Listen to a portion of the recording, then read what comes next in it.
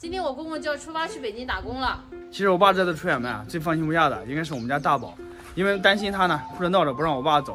我们家二宝现在还小，不太懂事。还记得上一次俺妈出远门的时候，大宝哭得撕心裂肺的，追着车子一直跑着，跟后面哭。所以这次啊，我爸出发去北京，昨天晚上我们都没敢跟大宝说，只是试探性的问了他一下，如果爷爷出去打工，你会不会哭？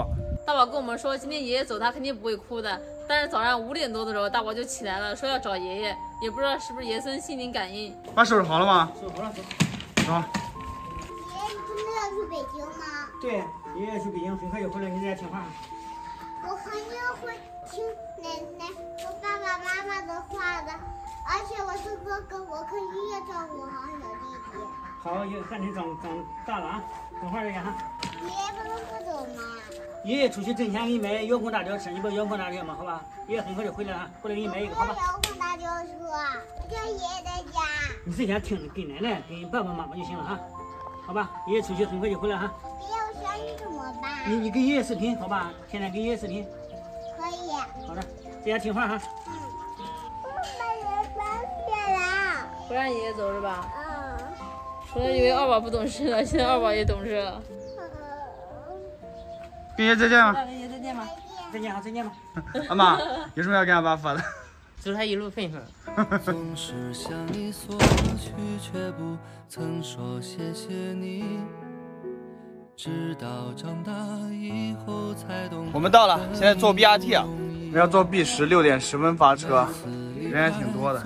车来了，拿零钱是吧？路上注意安全。哪个东西啊？到那边给我打电话，走。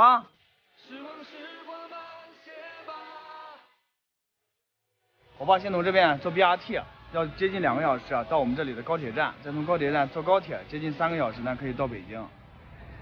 大宝也走了。他爸走的时候，他就一直在哭。你不说你不哭的吗？你不说你在家听话的吗？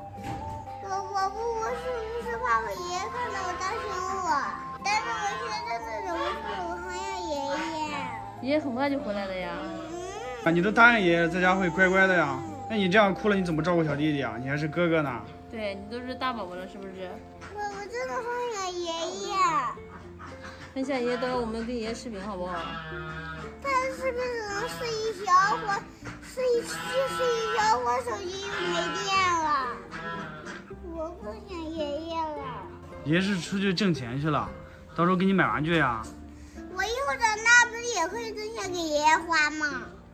也不能不走嘛。刚才大宝问了我很多话，我都不知道怎么去回答他，因为他现在还太小了。即使跟他说的再多，他也不明白为什么爷爷非要去北京打工呢？只有等他长大了，他才会慢慢的理解了和习惯。突然有很强的无力感，感觉自己特别的渺小，一点都不够强大。给自己定个小目标，让自己强大起来，至少呢，让父母和孩子可以留在自己身边。好了，不说那么多了，出摊卖水果去了。走，摊子已经摆好了，看一看，还是琳琅满目的，什么都有。又是充满正能量的一天，预祝我们今天水果大卖。本期视频呢，就跟大家分享到这里了，明天见。